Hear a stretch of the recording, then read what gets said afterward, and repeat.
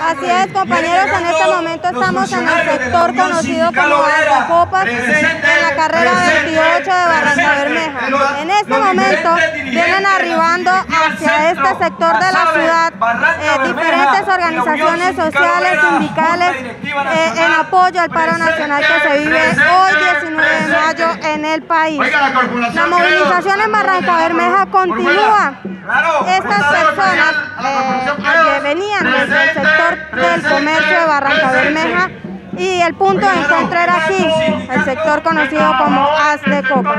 En este momento estamos con el señor David Ravelo Crespo, quien nos va a hablar acerca de esta marcha que continúa en Barranca Bermeja continúa en el país en el marco de llamada a la movilización nacional en el país. Ravelo, buenas tardes. Cuéntenos, señor David, quiénes están aquí y por qué siguen haciendo esta llamada al gobierno.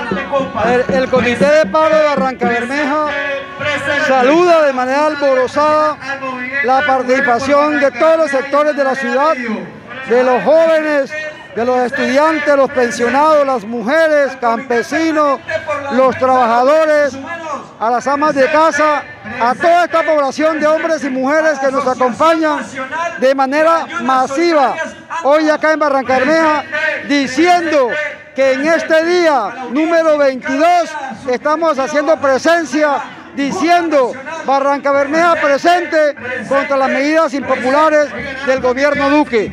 Esta es una marcha pacífica, pero numerosa, masiva. Señor David, cuéntenos hasta qué horas van a estar en este punto en la movilización o en el plantón aquí en este punto de encuentro. Estamos acá en este punto de la de Copa, el grueso de la movilización en Barranca Bermeja, pero también los compañeros jóvenes en obras públicas se encuentran allí, los transportadores de carga pesada en el Boston, es decir, la población de Barranca Bermeja se expresa aquí en los diversos puntos. Hoy estaremos acá hasta horas de la tarde, muy entrado de la noche, para expresar que estamos presentes en este gran paro nacional, que es indefinido.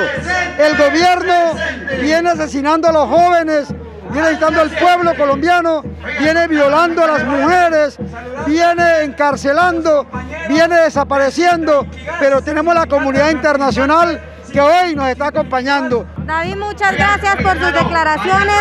Yo quiero que todos ustedes miren el panorama que hay aquí en el sector de As de Copas. Cabe resaltar que este no es el único punto de protesta que se está viviendo hoy en Barranca Bermeja. En el sector del Boston también hay bloqueos por parte de organizaciones sociales y sindicales en apoyo al paro nacional.